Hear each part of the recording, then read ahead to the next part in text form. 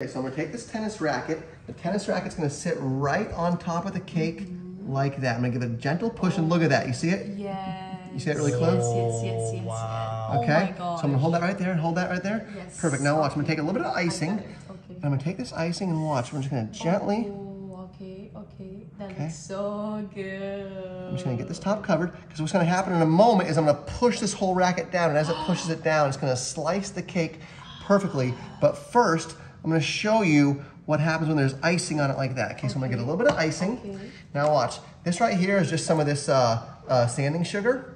Okay, and I'm actually gonna take off the top of this because I want to take a handful of it like this. Okay, Yes. you see that? It looks amazing. Now watch. Okay, just gonna give a Oh gentle. Oh, those colors. Colors are nice, Yeah. but more importantly, it's gonna be the pattern, okay? The Because the pattern. pattern I'm gonna do in the shape